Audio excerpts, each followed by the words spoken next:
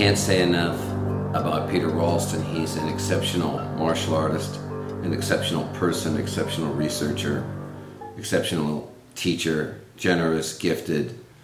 Okay, so all I want is, you know, the answer. The answer.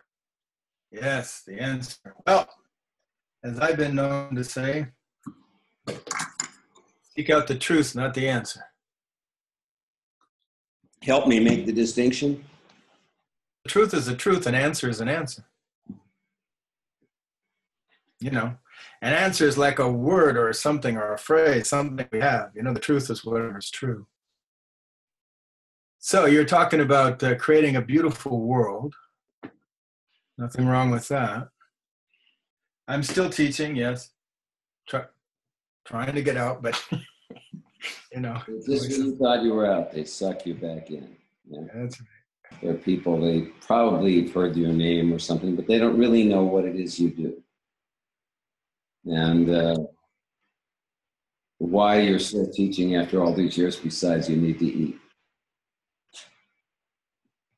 Well, there's two uh, two aspects I think for me, as besides the eating part, which I enjoy, um, and that is um,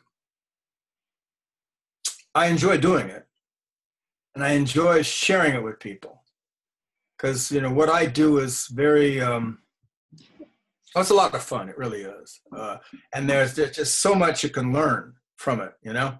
And I and I like sharing that with people. It's just really great stuff and mostly now what i'm working on is the consciousness work i do almost all the consciousness work for example at the center here when i first started we did um, one week of consciousness a year and uh, seven weeks of martial, and now i do two weeks of martial and six weeks of consciousness work so it's changed a lot over time yeah.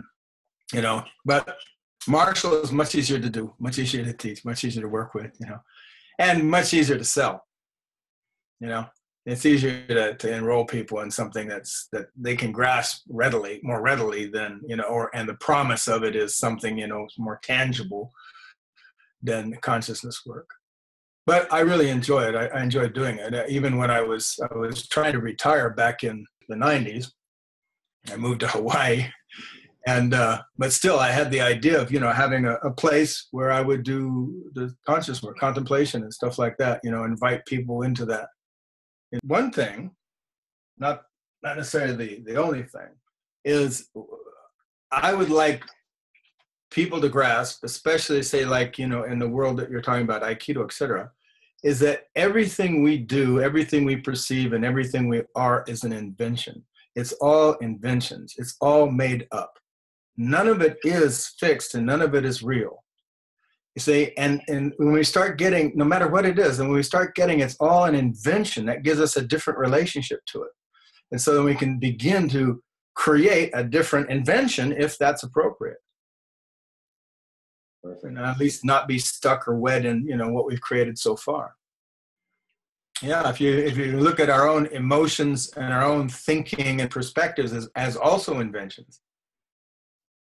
We say, oh, well, is this invention working well, you know, for me? Is this really what I want to live? Is this what I give my life to? Yeah. And a lot of times the answer is no. no. Are you kidding me? I'm just waiting this out. yeah. I don't want to give my life to this. Well, then stop giving your life to it. Yeah. And that can be, you know, easier said than done. Well, it's easier done than said, but, you know, if you don't do it, it's really hard.